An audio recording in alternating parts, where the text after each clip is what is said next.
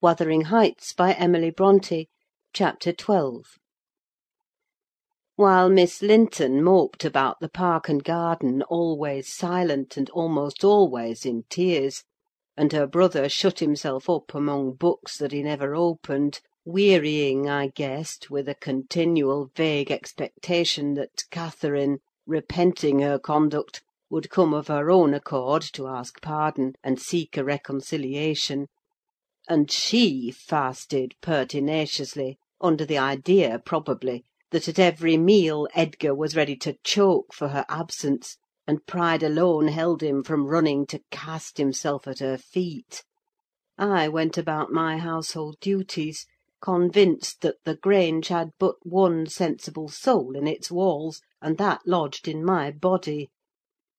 I wasted no condolences on Miss, nor any expostulations on my mistress; nor did I pay much attention to the sighs of my master, who yearned to hear his lady's name, since he might not hear her voice. I determined they should come about as they pleased for me; and though it was a tiresomely slow process, I began to rejoice at length in a faint dawn of its progress: as I thought at first.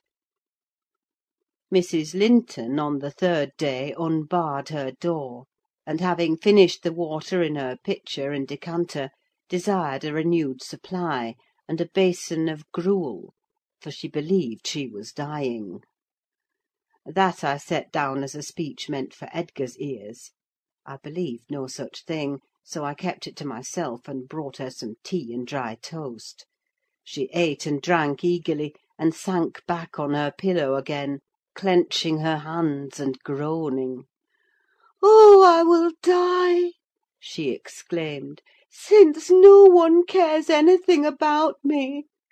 I wish I had not taken that." Then, a good while after, I heard her murmur, "No, I'll not die: he'd be glad: he does not love me at all: he would never miss me." "Did you want anything, ma'am?" I inquired, still preserving my external composure, in spite of her ghastly countenance and strange, exaggerated manner. "What is that apathetic being doing?" she demanded, pushing the thick entangled locks from her wasted face. "Has he fallen into a lethargy, or is he dead?" "Neither," replied I, "if you mean Mr. Linton. He's tolerably well, I think; though his studies occupy him rather more than they ought: he is continually among his books, since he has no other society." I should not have spoken so if I had known her true condition; but I could not get rid of the notion that she acted a part of her disorder. "Among his books!" she cried, confounded. "And I dying! I on the brink of the grave! My God! does he know how I'm altered?" continued she, staring at her reflection in a mirror hanging against the opposite wall. "Is that Catherine Linton? He imagines me in a pet, in play, perhaps. Cannot you inform him that it is frightful earnest? Nelly, if it be not too late! As soon as I learn how he feels, I'll choose between these two: either to starve at once that would be no punishment unless he had a heart or to recover and leave the country. Are you speaking the truth about him now? Take care! Is he actually so utterly indifferent for my life?" "Why, ma'am," I answered, "the master has no idea of your being deranged; and, of course, he does not fear that you will let yourself die of hunger." "You think not? Cannot you tell him I will?" she returned. "Persuade him: speak of your own mind: say you are certain I will." "No, you forget, Mrs. Linton," I suggested, "that you have eaten some food with a relish this evening, and to morrow you will perceive its good effects." "If I were only sure it would kill him," she interrupted, "I'd kill myself directly. these three awful nights I've never closed my lids; and oh, I've been tormented! I've been haunted, Nelly! But I begin to fancy you don't like me. How strange! I thought, though everybody hated and despised each other, they could not avoid loving me; and they have all turned to enemies in a few hours. They have, I'm positive, the people here. How dreary to meet death, surrounded by their cold faces!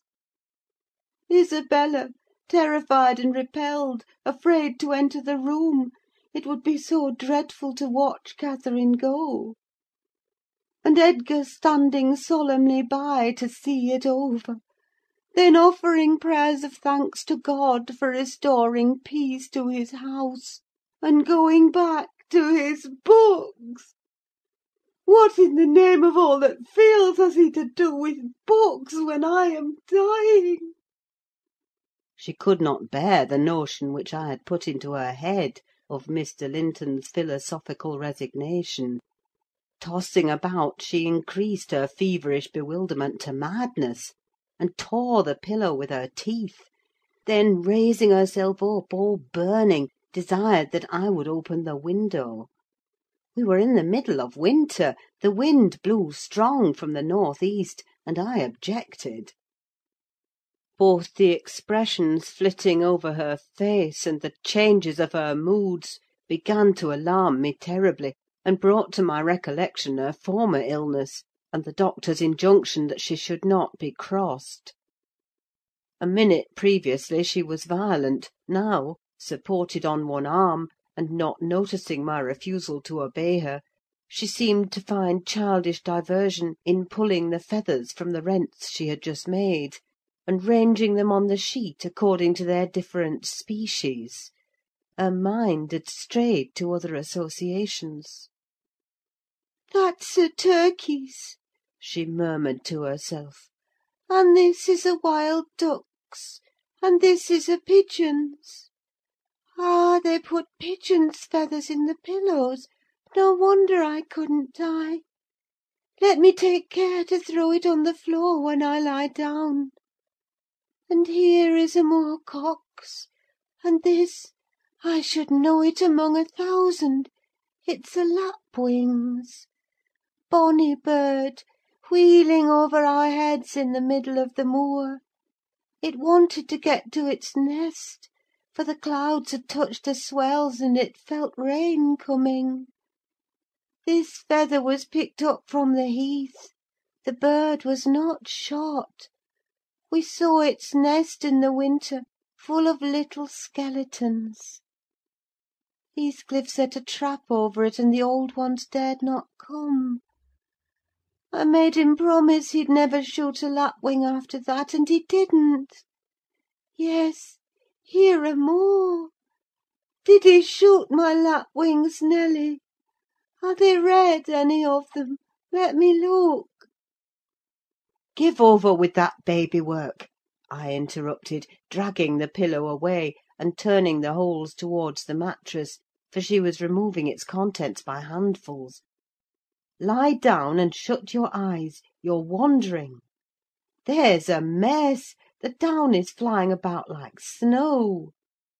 I went here and there collecting it. "I see in you, Nelly," she continued dreamily, "an aged woman: you have grey hair and bent shoulders. This bed is the fairy cave under Penistone Crags, and you're gathering elf bolts to hurt our heifers, pretending, while I'm near, that they're only locks of wool. That's what you'll come to fifty years hence. I know you are not so now. I am not wandering: you are mistaken, or else I should believe you really were that withered hag, and I should think I was under Penistone Crags. And I'm conscious it's night, and there are two candles on the table, making the black press shine like jet." "The black press? Where is that?" I asked. You are talking in your sleep." "It's against the wall, as it always is," she replied. "It does appear odd: I see a face in it." "There's no press in the room, and never was," said I, resuming my seat, and looping up the curtain that I might watch her. "Don't you see that face?" she inquired, gazing earnestly at the mirror; and say what I could, I was incapable of making her comprehend it to be her own, so I rose and covered it with a shawl. "It's behind there still," she pursued anxiously, "and it stirred. Who is it? I hope it will not come out when you are gone. Oh, Nelly, the room is haunted! I'm afraid of being alone." I took her hand in mine, and bid her be composed, for a succession of shudders convulsed her frame, and she would keep straining her gaze towards the glass. "There's nobody here," I insisted. "It was yourself, Mrs. Linton: you knew it a while since." "Myself!" she gasped. "And the clock is striking twelve! It's true, then! That's dreadful!" Her fingers clutched the clothes, and gathered them over her eyes. I attempted to steal to the door with an intention of calling her husband, but I was summoned back by a piercing shriek: the shawl had dropped from the frame. "Why, what is the matter?" cried I. "Who is coward now? Wake up! That is the glass, the mirror, Mrs. Linton; and you see yourself in it, and there am I, too, by your side." Trembling and bewildered, she held me fast; but the horror gradually passed from her countenance: its paleness gave place to a glow of shame. "Oh, dear! I thought I was at home," she sighed. I thought I was lying in my chamber at Wuthering Heights. Because I'm weak, my brain got confused, and I screamed unconsciously. Don't say anything, but stay with me. I dread sleeping: my dreams appal me." "A sound sleep would do you good, ma'am," I answered; "and I hope this suffering will prevent your trying starving again." "Oh, if I were but in my own bed in the old house!" she went on, bitterly, wringing her hands. "And that wind sounding in the firs by the lattice! Do let me feel it: it comes straight down the moor. Do let me have one breath!" To pacify her, I held the casement ajar a few seconds. A cold blast rushed through. I closed it, and returned to my post. She lay still now, her face bathed in tears: exhaustion of body had entirely subdued her spirit. Our fiery Catherine was no better than a wailing child. "How long is it since I shut myself in here?" she asked, suddenly reviving. "It was Monday evening," I replied; "and this is Thursday night, or rather Friday morning, at present." "What! of the same week?" she exclaimed. "Only that brief time?" "Long enough to live on nothing but cold water and ill temper," observed I. "Well, it seems a weary number of hours," she muttered doubtfully. "It must be more. I remember being in the parlour after they had quarrelled, and Edgar being cruelly provoking, and me running into this room, desperate. As soon as ever I had barred the door, utter blackness overwhelmed me, and I fell on the floor. I couldn't explain to Edgar how certain I felt of having a fit, or going raging mad, if he persisted in teasing me. I had no command of tongue or brain, and he did not guess my agony, perhaps. It barely left me sense to try to escape from him and his voice. Before I recovered sufficiently to see and hear, it began to be dawn; and, Nelly, I'll tell you what I thought, and what has kept recurring and recurring, till I feared for my reason. I thought, as I lay there, with my head against that table leg, and my eyes dimly discerning the grey square of the window, that I was enclosed in the oak panelled bed at home; and my heart ached with some great grief, which, just waking, I could not recollect. I pondered and worried myself to discover what it could be; and, most strangely, the whole last seven years of my life grew a blank. I did not recall that they had been at all. I was a child; my father was just buried, and my misery arose from the separation that Hindley had ordered between me and Heathcliff. I was laid alone for the first time; and rousing from a dismal doze after a night of weeping, I lifted my hand to push the panels aside. It struck the table top. I swept it along the carpet, and then memory burst in. My late anguish was swallowed in a paroxysm of despair. I cannot say why I felt so wildly wretched. It must have been temporary derangement, for there is scarcely cause. But supposing at twelve years old I had been wrenched from the Heights, and every early association, and my all in all, as Heathcliff was at that time, and been converted at a stroke into Mrs. Linton, the lady of Thrushcross Grange, and the wife of a stranger; an exile and outcast, thenceforth, from what had been my world. You may fancy a glimpse of the abyss where I grovelled. Shake your head as you will, Nelly, you have helped to unsettle me. You should have spoken to Edgar, indeed you should, and compelled him to leave me quiet. Oh, I'm burning! I wish I were out of doors. I wish I were a girl again, half savage and hardy and free, and laughing at injuries, not maddening under them. Why am I so changed? Why does my blood rush into a hell of tumult at a few words? I'm sure I should be myself were I once among the heather on those hills. Open the window again, wide! Fasten it open! Quick! Why don't you move?" "Because I won't give you your death of cold," I answered. "You won't give me a chance of life, you mean," she said sullenly. "However, I'm not helpless yet. I'll open it myself." And sliding from the bed before I could hinder her, she crossed the room, walking very uncertainly, threw it back, and bent out, careless of the frosty air that cut about her shoulders as keen as a knife. I entreated, and finally attempted to force her to retire. But I soon found her delirious strength much surpassed mine.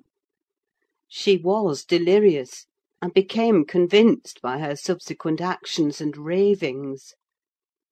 There was no moon, and everything beneath lay in misty darkness. Not a light gleamed from any house, Far or near, all had been extinguished long ago; and those at Wuthering Heights were never visible: still she asserted she caught their shining. "Look!" She cried eagerly. "That's my room, with the candle in it, and the trees swaying before it; and the other candle is in Joseph's garret. Joseph sits up late, doesn't he? He's waiting till I come home, that he may lock the gate. Well, he'll wait a while yet. It's a rough journey, and a sad heart to travel it; and we must pass by Gimmerton Kirk to go that journey.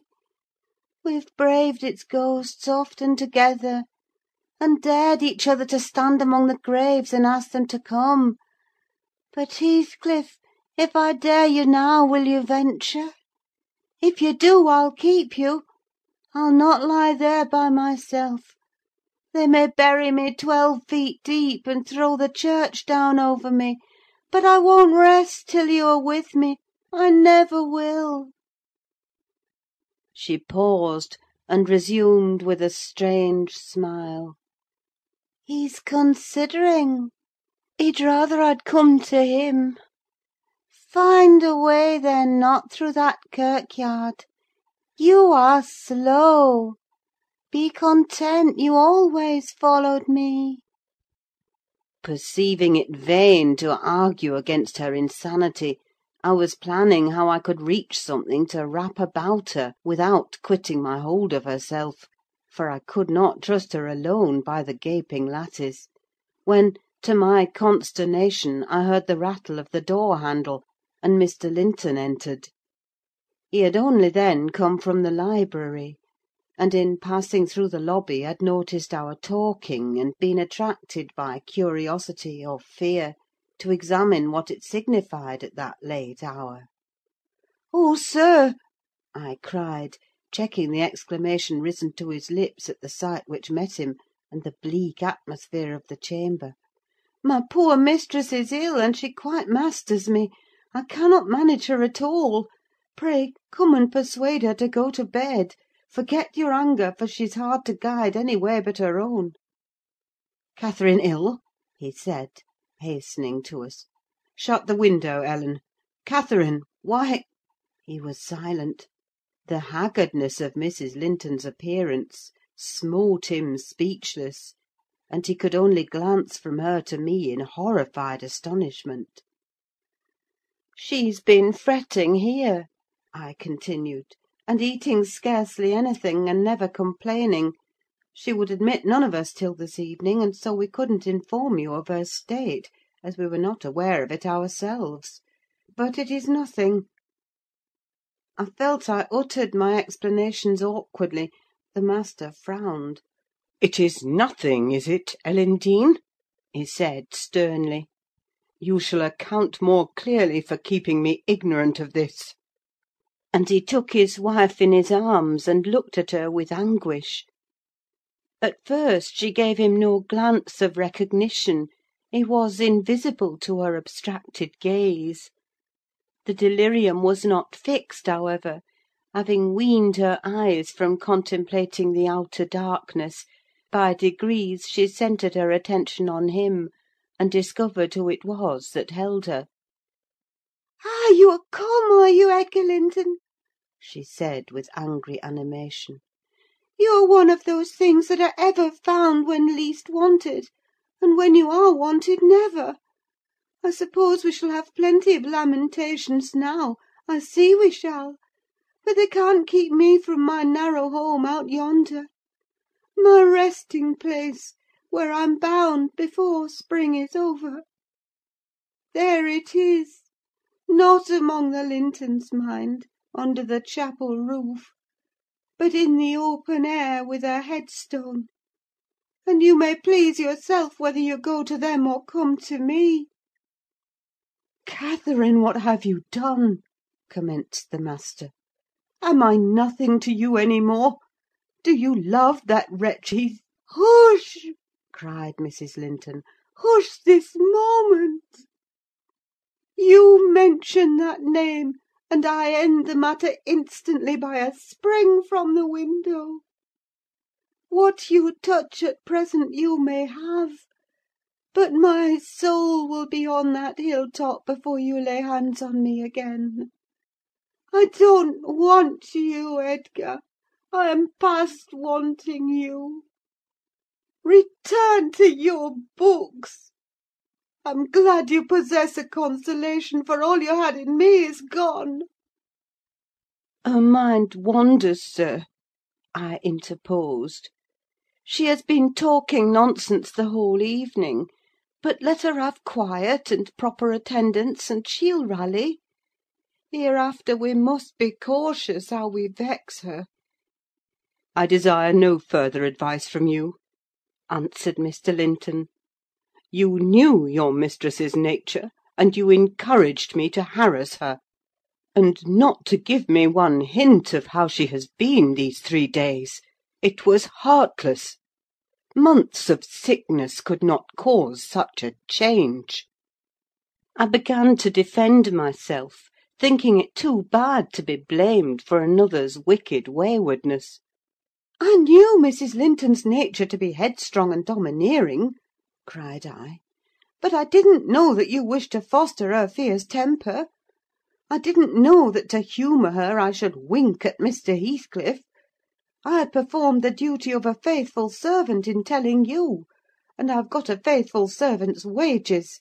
Well, it will teach me to be careful next time: next time you may gather intelligence for yourself." "The next time you bring a tale to me, you shall quit my service, Ellen Dean," he replied. "You'd rather hear nothing about it, I suppose, then, Mr. Linton?" said I. "Heathcliff has your permission to come a courting to Miss, and to drop in at every opportunity your absence offers, on purpose to poison the mistress against you?" Confused as Catherine was, her wits were alert at applying our conversation. "Ah! Nelly has played traitor!" She exclaimed passionately. "Nelly is my hidden enemy! You witch! So you do seek elf bolts to hurt us! Let me go, and I'll make her rue: I'll make her howl a recantation!" A maniac's fury kindled under her brows: she struggled desperately to disengage herself from Linton's arms. I felt no inclination to tarry the event, and resolving to seek medical aid on my own responsibility, I quitted the chamber. In passing the garden to reach the road, at a place where a bridle hook is driven into the wall, I saw something white moved irregularly, evidently by another agent than the wind. Notwithstanding my hurry, I stayed to examine it, lest ever after I should have the conviction impressed on my imagination that it was a creature of the other world. My surprise and perplexity were great on discovering, by touch more than vision, Miss Isabella's springer, Fanny, suspended by a handkerchief, and nearly at its last gasp. I quickly released the animal and lifted it into the garden. I had seen it follow its mistress upstairs when she went to bed, and wondered much how it could have got out there, and what mischievous person had treated it so. While untying the knot round the hook, it seemed to me that I repeatedly caught the beat of horses' feet galloping at some distance; but there were such a number of things to occupy my reflections that I hardly gave the circumstance a thought, though it was a strange sound in that place at two o'clock in the morning. Mr. Kenneth was fortunately just issuing from his house to see a patient in the village, as I came up the street; and my account of Catherine Linton's malady induced him to accompany me back immediately. He was a plain, rough man, and he made no scruple to speak his doubts of her surviving this second attack, unless she were more submissive to his directions than she had shown herself before. "Nelly Dean," said he, "I can't help fancying there's an extra cause for this. What has there been to do at the Grange? We've odd reports up here. A stout-hearty lass like Catherine does not fall ill for a trifle; and that sort of people should not, either. It's hard work bringing them through fevers and such things. How did it begin?" "The master will inform you," I answered; "but you were acquainted with the Earnshaws' violent dispositions and Mrs. Linton caps them all. I may say this: it commenced in a quarrel. She was struck during a tempest of passion with a kind of fit. That's her account, at least, for she flew off in the height of it and locked herself up. Afterwards she refused to eat, and now she alternately raves and remains in a half dream, knowing those about her, but having her mind filled with all sorts of strange ideas and illusions. "Mr. Linton will be sorry?" observed Kenneth, interrogatively. "Sorry? He'll break his heart should anything happen," I replied. "Don't alarm him more than necessary."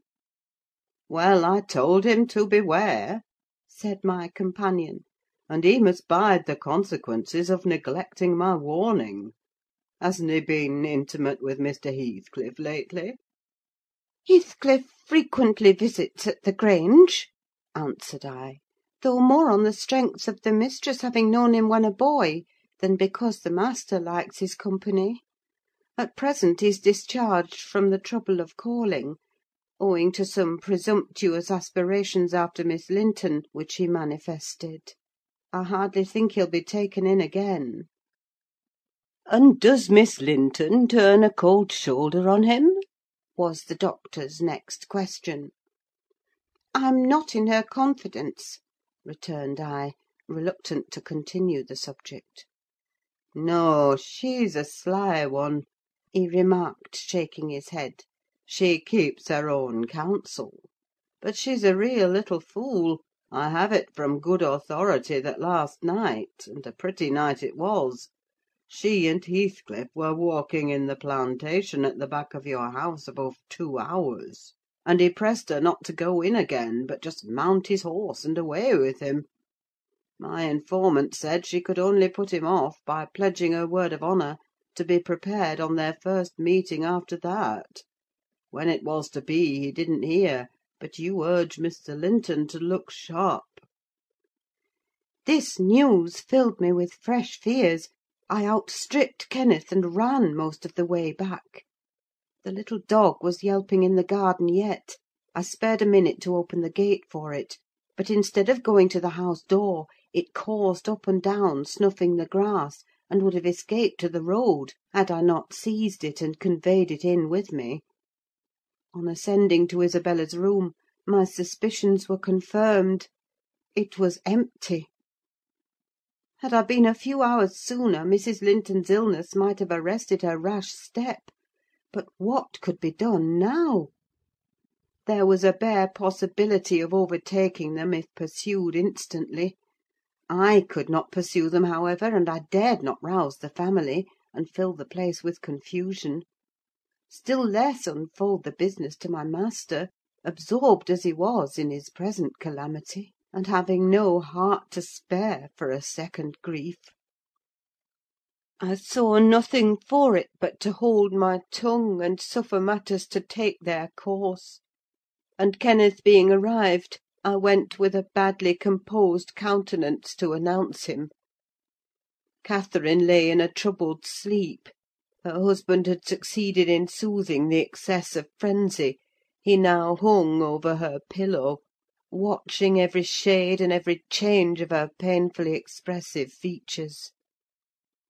The doctor, on examining the case for himself, spoke hopefully to him of its having a favourable termination, if we could only preserve around her perfect and constant tranquillity. To me he signified the threatening danger was not so much death as permanent alienation of intellect. I did not close my eyes that night, nor did Mr. Linton: indeed, we never went to bed; and the servants were all up long before the usual hour, moving through the house with stealthy tread, and exchanging whispers as they encountered each other in their vocations. Every one was active but Miss Isabella, and they began to remark how sound she slept.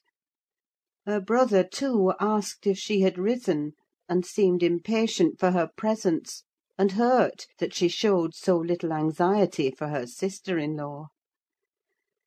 I trembled lest he should send me to call her, but I was spared the pain of being the first proclaimant of her flight.